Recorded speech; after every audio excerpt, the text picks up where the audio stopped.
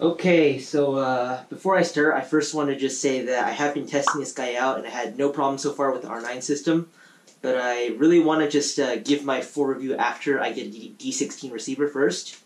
Because I'm, I have ordered a D16 from UPDrone and I'm just waiting for that right now. Otherwise, uh, I guess today's main topic is talking about the design changes that I've seen inside uh, this guy that was not in the X9D Plus. Because uh, when I popped off the, the back lid to go changed tension my gimbals, I kind of realized that there were some really, really cool things that I saw in this that was not inside that. So let's get to it, I guess.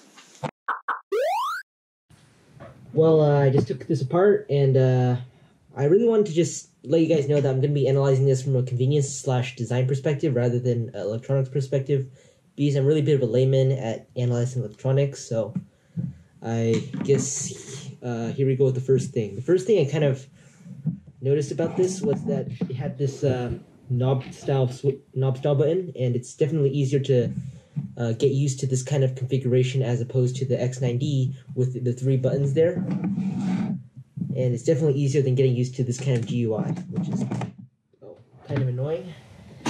But uh, another thing uh, that I really liked about this is that when I first opened it up, I saw that everything was on one side, and the X9D Plus, having it on two sides is just, in my opinion, just really messy, and I just honestly did not like it because this created a lot of uh, a bit more hassle of taking apart and just having to deal with this ribbon cable, and I guess that's that. The third thing I really liked about this is that uh, the the front shell actually goes around the switch. So this switch actually, these two switches actually are not going anywhere.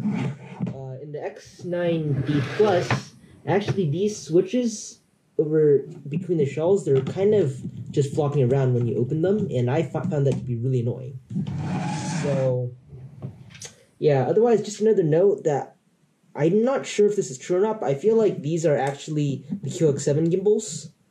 Uh, I messaged this. There's a guy who messaged me, and uh, apparently he, he wanted to know the dimensions of the gimbals to see if uh, you can install an M7 Hall sensor gimbal, and apparently he said that uh, after I give him the dimensions, that they're exactly the same as the dimensions of the M7 Hall sensor gimbal. So maybe this might be compatible with the Hall sensor gimbal upgrade. I'm not sure. Right.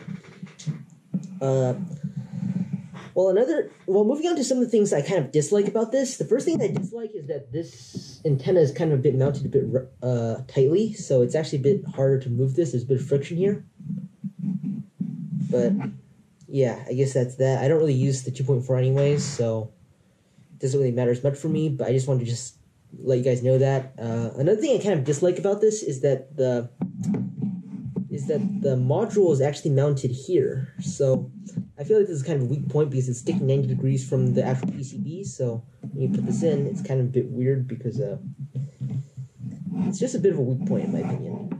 But yeah, moving on from that, uh, another thing I kind of just dislike about this is that, um, as you can see here, uh, it actually accepts the 18650 packs, and that's a, honestly a kind of a good thing and a bad thing. 18650 packs are kind of a bit stable, but at the same time, they kind of, from my experience, have a bit of a lower amperage draw, so um, if you're running like a crossfire on 2 watts, I think you might be a bit out of luck there because, you know, you might be getting some voltage sag. So uh, I honestly wish FrSky could release a new plate that could allow it to just have a normal lipo uh, battery, uh, normal lipo battery plug-in. I guess that'd be really nice. But I guess that's just something I'm, we're just gonna have to deal with for now.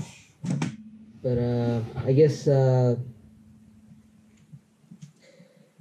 last but not least, I just wanted to say that it's just kind of annoying to just have this uh, power button here. Uh, I honestly prefer the switch a bit more, but yeah. Uh, I guess that's all, folks. Till next time.